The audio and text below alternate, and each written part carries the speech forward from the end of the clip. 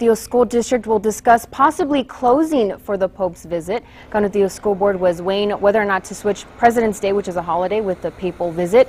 Two previous motions failed. Initially, the district said schools wouldn't be affected because there are no road closures within the boundaries of the district. So far, YISD, EPISD, Socorro ISD, and San Elizario ISD will close for the day. We'll be sure to keep you updated on air and online at kvia.com.